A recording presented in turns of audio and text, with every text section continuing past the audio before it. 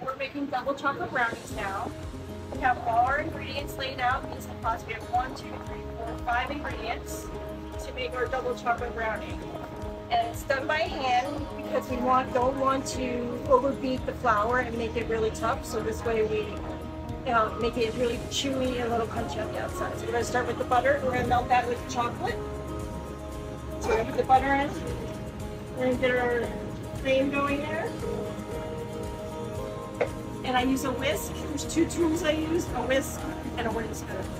The whisk get the butter and the chocolate all melted, and then the beat in the eggs and the sugar. And then we use the wooden spoon to beat in the flour.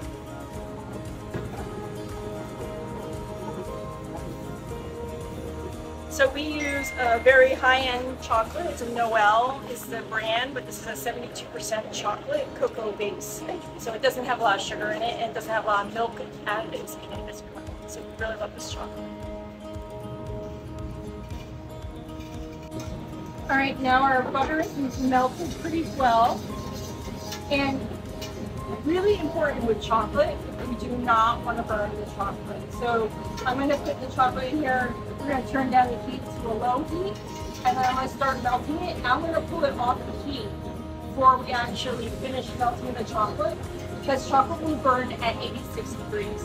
We do not want it to go over 86 degrees.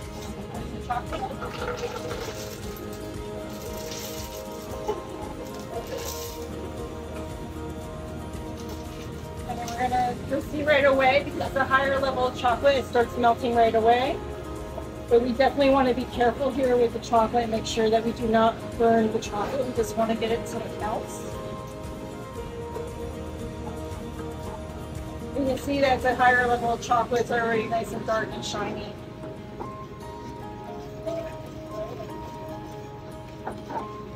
And at this point, the chocolate's almost melted and I'm gonna add in our sugar. You kind of want to melt that sugar into the chocolate and the butter as well.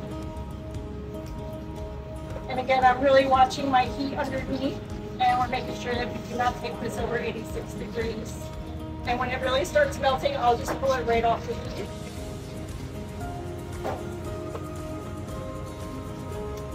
Then the next step is going to be adding the eggs.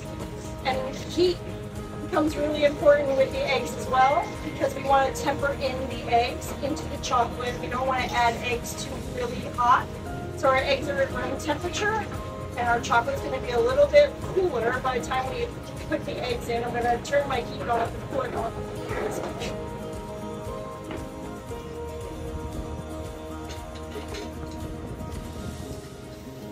So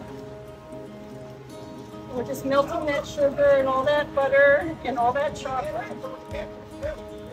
Okay, so now we have 12 eggs. Of eggs, but this is really what holds the chocolate and the flour together. So we got butter, we got chocolate, we have sugar, and then we're gonna slowly temper in our eggs. I do one at a time.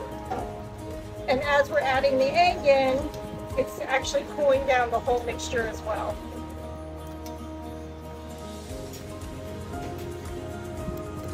So this is called tempering in your eggs. If it was too hot, the eggs would scramble and you'd have a problem. So, uh, start adding our eggs in.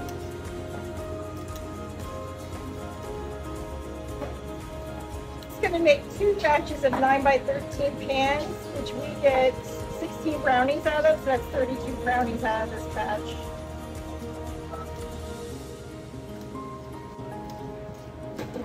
Okay.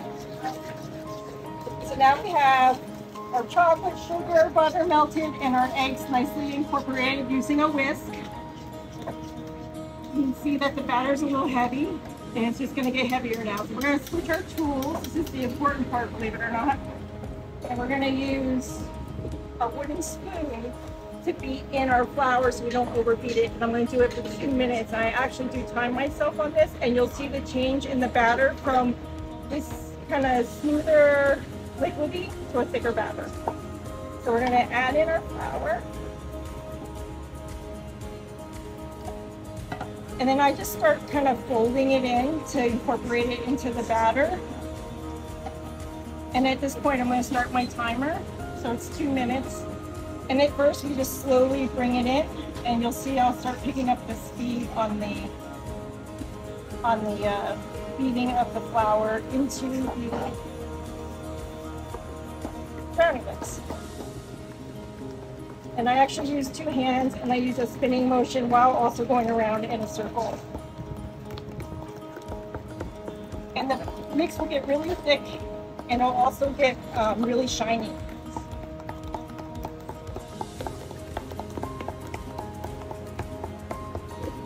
It's quite a workout. it's quite a workout. Want to build those arm muscles? Eat some brownies. then you get to eat them and then you don't feel so guilty.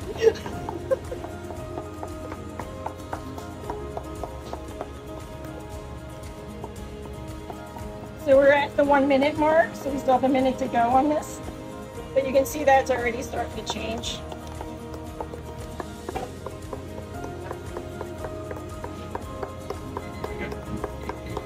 Here's my timer. I'm gonna keep feeding it just a little bit more. Really see a difference here. It's really good.